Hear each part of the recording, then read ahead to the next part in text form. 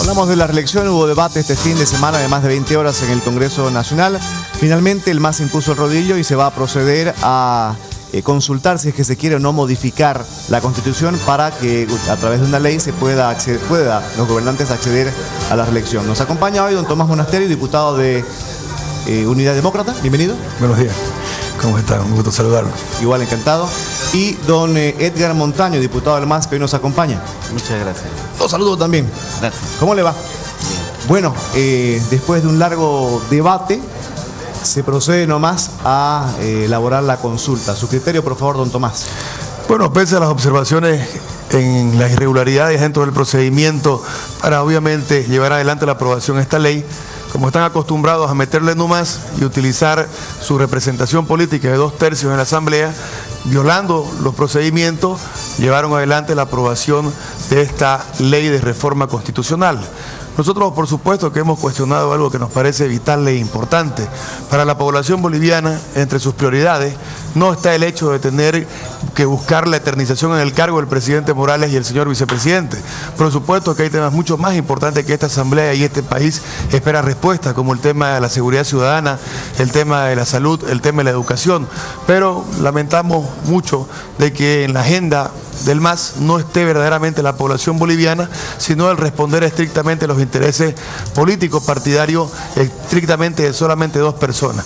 El hecho de que el presidente Morales y el señor vicepresidente se repostulen no permite una garantía para eh, la democracia y por aún para el futuro de nuestro país. Son solamente dos personas de los millones de bolivianos que estamos en la calle, que por supuesto obviamente tienen todo el derecho de poder ejercer en democracia la alternancia y la posibilidad de poder aspirar a un cargo hacia la presidencia. Don Edgar. Bueno, muy buenos días a la población cruceña. Lo que hay que decir es que la oposición también votó por la reelección por el presidente Evo Morales y el vicepresidente. Toda la población lo ha visto, pero además de ello, nuestro alcalde cruceño también ha solicitado la repostulación. Y en ese sentido y en ese marco nosotros hemos hecho caso a la población para que se le pueda dar eh, un proyecto de ley aprobado por dos tercios, más de dos tercios, quiero recalcarlo, para que eh, pueda seguir del, del, 20 a 25 el, el presidente Luis ¿La oposición también votó en el Congreso por la repostulación? claro que sí, la oposición también ha votado para nosotros.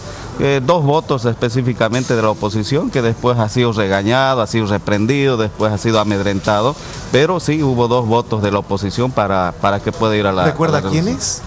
Eh, creo que es de Tarija el, diputado y otro de Oruro, ¿no? Pero lo, lo, que hay que dejar en claro no es que eh, se ha cambiado ya la constitución, sino va a ser el pueblo en sí el que recién va a cambiar la constitución porque después del referéndum se aprobará esta ley. Hay quienes creen, y cuando ya hablamos de la votación, hay quienes creen de que el MAS ha recibido más de un revés por parte de la población. En primer lugar, las elecciones subnacionales, consideradas como una derrota para el MAS, y en segundo lugar, lo ocurrido hace eh, una semana con el no a las autonomías, para muchos consideradas como tutelada. Eh, don Tomás, ¿usted confía de que la población le va a negar la posibilidad de eh, modificar la Constitución? Mire, primero tenemos que ser muy claros, la oposición no ha votado a favor de esta ley ha votado solamente un diputado, que nosotros respetamos su decisión, como también respetamos la decisión que tiene el ingeniero Percy Fernández en apoyar al MAS. Somos demócratas, tenemos que saber respetar a las personas que tengan la decisión, pero esto no quiere decir que las compartimos. Nosotros creemos de que la democracia no está en un tema de juego, ni tampoco se puede permitir asumir una lógica contraria a la Constitución y los preceptos fundamentales de la misma. ¿El no de hace una semana tiene algo que ver con lo que puede pasar en Mire, esta consulta? Indudablemente, yo creo que tenemos que ser muy precisos en lo siguiente para que la población tenga las cosas muy claras. Esto no se trata de un tema entre oposición y oficialismo, ni tampoco pasa por un problema entre derechas e izquierdas.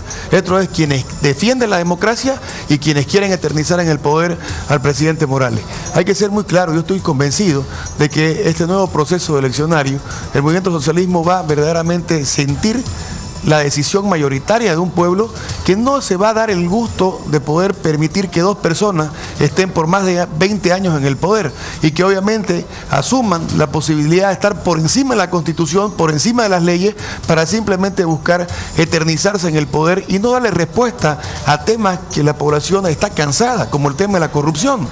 Dentro de la misma Asamblea Legislativa, dentro de la bancada acá de mi querido amigo y colega Montaño, existen diputados que han recibido mucha plata del tema del fondo indígena con las irregularidades y están dentro de la Asamblea sesionando, donde han sido parte de la corrupción que obviamente el país está cansado y que obviamente entiende de que no se puede permitir de que el prorroguismo, la eternización en el cargo, sea el camino para el futuro de Bolivia. Tenemos que buscar la alternancia y en ese camino, obviamente, la oposición va a cumplir su rol, su papel acompañando al pueblo boliviano, porque se va a movilizar una gran campaña para poder consolidar ese no rotundo que garantice la defensa de la democracia en nuestro país. Don Edgar, ¿ustedes avisaron de que la población va a apoyar esta propuesta?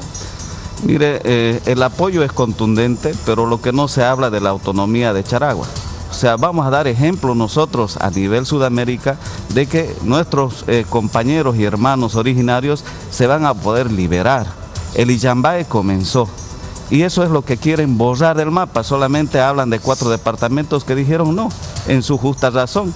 Pero además de ello, eh, quiero, quiero hacer notar también a la población que es diferente las autonomías con el presidente.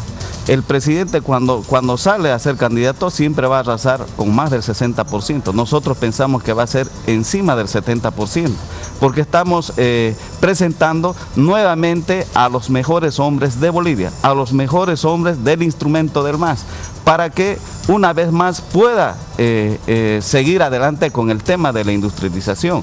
Pero además de ello, quiero hacerle recuerdo aquí a Tomás de que eh, Doria Medina más de cinco veces se ha repostulado. Tuto Quiroga más de tres veces se ha repostulado y la población no lo quiere y lo van a seguir repostulando.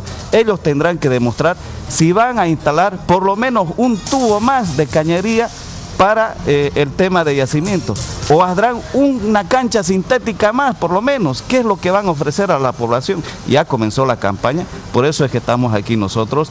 Eh, la población ha visto que el presidente y el vicepresidente están trabajando de manera continua día y noche. ¿Y qué es lo que están haciendo la oposición? Absolutamente nada. No tienen propuesta ideológica, no tienen propuesta política ni propuesta económica. Don Edgar, para concluir en esta consulta voy a ir primero con usted.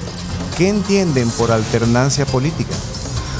Bueno, eh, yo lo que entiendo es que la oposición quiere un tema de pasanaco, lo que nosotros decimos una nueva repostulación porque el pueblo lo está pidiendo para que pueda seguir adelante. ¿El eh, pueblo lo está pidiendo? El pueblo, así ha sido. De la representatividad del pueblo el pueblo cuestiona la representatividad de la CONALCAN. No se olvide, no se olvide que esas organizaciones, eh, la CETSUCB representa a los campesinos, la COP representa a los obreros, los profesionales en, en, sus diferentes colegios han entregado este proyecto de ley. Entonces es por eso que me permito decir que el pueblo ha entregado y está solicitando que nuevamente se repostule.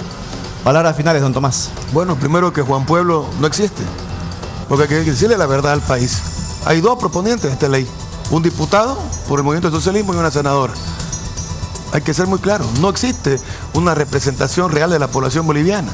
Y estoy seguro que entre la balanza de eternizar en el poder al presidente Morales y darle respuesta a los problemas de la gente, por supuesto que está primero el tema de la inseguridad, el tema de la salud, el tema de la inseguridad, el tema de la educación, antes que pensar de que la reelección del presidente Morales vaya a cambiar la vida del boliviano al próximo día. Por supuesto que no. Yo le quiero pedir algo muy claro, no hay que por qué preocuparse en el tema de la oposición, que si tiene candidato no tiene propuesta, esto no está en debate.